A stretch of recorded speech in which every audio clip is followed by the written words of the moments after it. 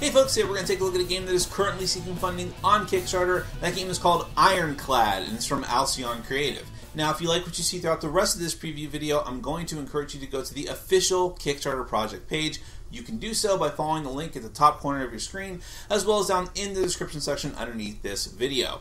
Now, Ironclad is a fully cooperative, scenario based game and you and the other players are uh, crew members of the ship called the Ironclad. That's where the name of the game comes from. Uh, it's this giant space battleship that is sort of a, a mercenary ship. Uh, you are floating in between different factions in the the galaxy that is depicted in this universe and you're just trying to go through different scenarios, uh, working your way through it, completing missions, and gaining reputation and losing reputation with different factions along the way. You recruit more heroes to crew your ship.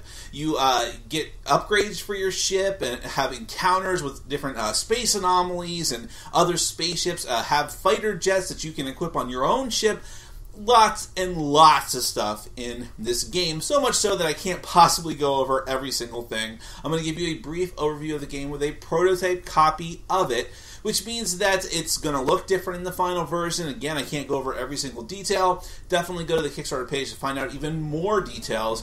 But in any event, we'll take a look, then we're going to come back and we will discuss it further.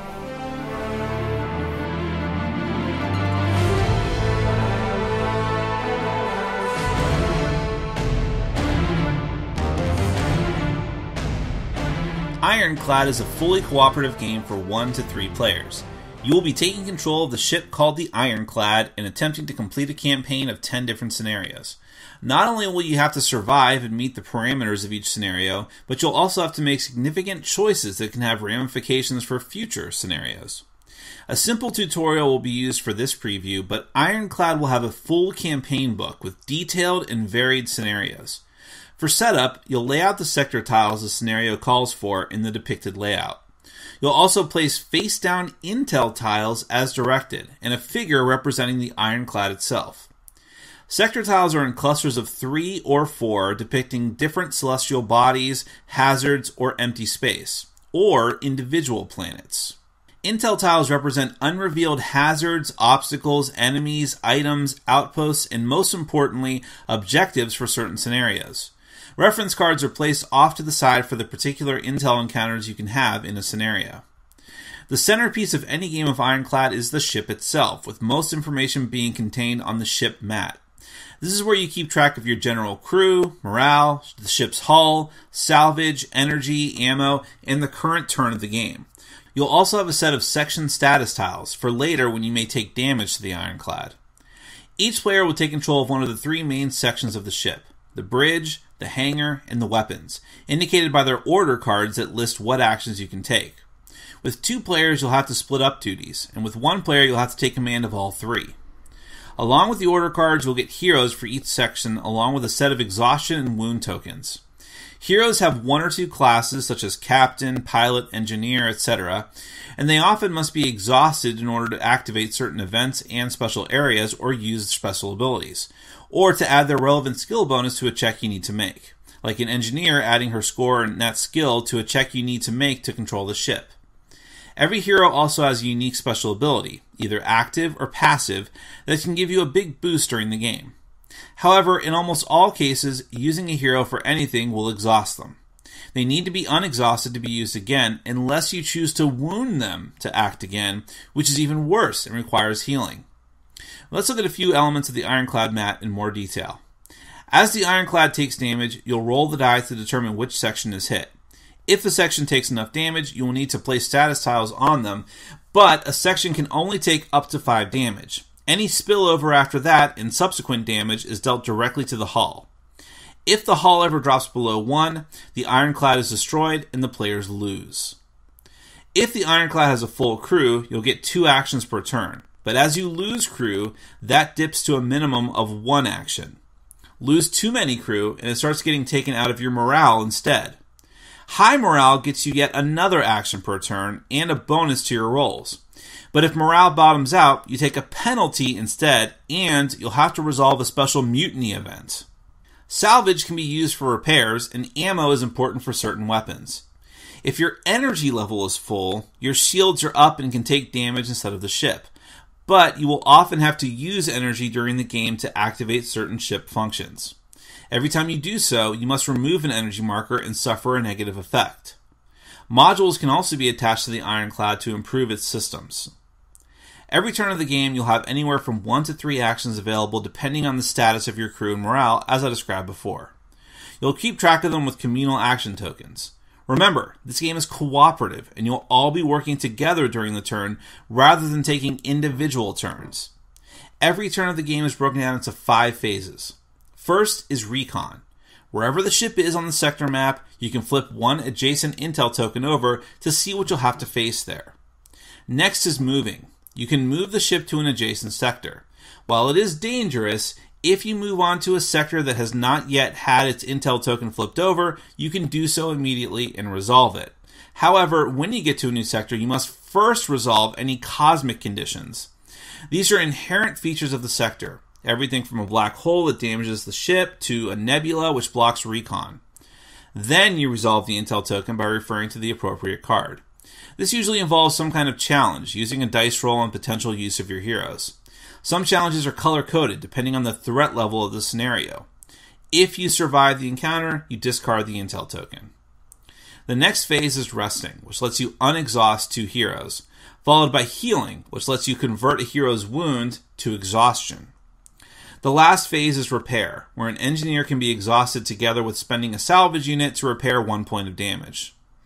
Now, that covers the very basic rules of the game, but of course, going into a regular campaign will introduce many advanced concepts.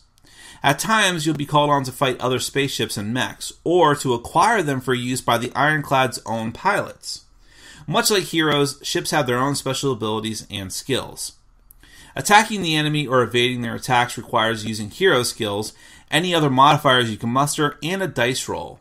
An important rule of the game is that a 6 is always considered a success and a 1 is always a fail, regardless of modifiers. In the larger game, reputation is a huge consideration. There are five factions in the game, and as you complete missions in each scenario, you'll either gain or lose reputation with different factions. Gain enough reputation, and a faction will become friendly with the Ironclad and may eventually even consider them staunch allies. But by doing this, you will undoubtedly make enemies of other factions that are opposed to your new friends. In fact, some of the heroes that you may be able to recruit for the crew already belong to these factions, and you gain access to them when your reputation goes up within those factions. If it plummets, however, they can become enforcers, working for those factions and making life difficult for you whenever you go into their space, even if they don't openly oppose you. Villains, on the other hand, are actively trying to impede and destroy the Ironclad, and they will spawn when your faction reputation gets down to sworn enemy status for those factions. You may come afoul of them either in space combat or intel operations. Your relationship with factions is also relevant for when you come across planets and space stations. You can't even enter the sectors of these ports if you're considered an enemy, and only certain facilities at these ports will be open to you even if you are neutral or friendly. For instance, neutral or higher reputation will let you stock up on salvage, ammo, or gear at the trader. Being friendly will get you access to the guild, where you can hire new heroes for your crew. And being a full ally will grant access to the tech center, where you can permanently upgrade the ironclad or your fighters and mechs. You'll need credits to do any of these things, as well as to keep your heroes employed and deployed for each scenario. And this cost can increase when you promote them, increasing their abilities. There is much, much more to cover for Ironclad, but that should give you a good overview of how to play the game. Well, the first thing you notice about Ironclad is obviously the theme. There's a lot of uh, cooperative scenario based games. That's why I actually phrase that that way in the beginning because it is its own genre at this point. Uh, these campaign based games, but most of those campaign games are either fantasy or science fiction. Every player takes control of just like one. Uh, unit and you just like you know uh, skirmish based or tactical combat based games and they all even though they're all I, I like some of those games and they have like very um, uh, unique aspects to some of them. They do feel like the same thing, it, definitely thematically after a certain point. In Ironclad, it's so unique because you, you just you're actually crew members of this one ship, and you're taking control of different stations. And that's why the game has an unusual uh, number of players, one to three, uh, and that it can be played so easily as a solo game. These are all very unique aspects of it together with that theme. And the fact that you can uh, get crew members for the ship and customize the ship and uh, have all these space encounters, it really feels like a hardcore uh, space-faring sci-fi game. And while there, again, there are games that are in the broad science fiction category and space-faring, but not quite like this. Uh, and definitely, it, there's so many homages that it's uh, it is paying homage to, uh, like you know, Star Blazers or uh, Macross and so on, Robotech, so on and so forth.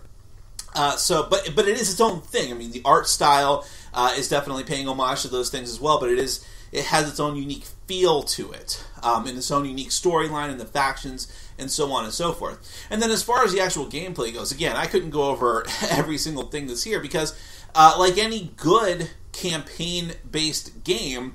Uh, there's just so many different ways that you can play and make choices and have those choices carry over, especially with the reputation system uh, of the game where you have all these different factions. Sort of, uh, if you gain reputation with one, you're probably going to make another faction very angry. And you're not going to be able to take full advantage of their ports, or maybe not even go to them at all. And they may have villains hunting you down.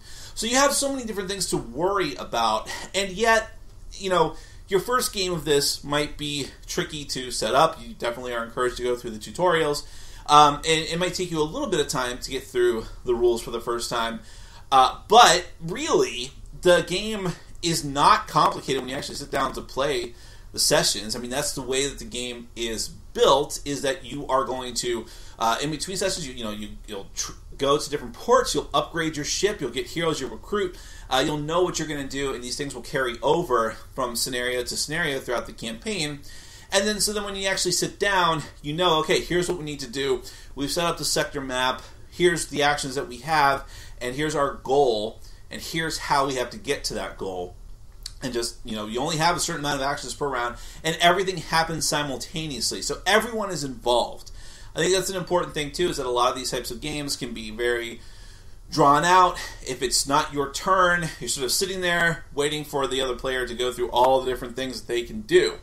But in Ironclad, you are all acting in the same round, same turn, and have to have to be active. You have to be talking to the other players and deciding what to do and how best to spend your actions. And you know, again, assuming that you're playing with two or three players, this can be played solo. You ha- you have your purview, your heroes, and your station, and you need to figure out how you're going to best contribute to the well-being of the ship. And it's not just about keeping the ship from exploding, although that's important. It's also about thinking long term about the factions, about getting upgrades for the ship because scenario to scenario, it's going to get more and more difficult.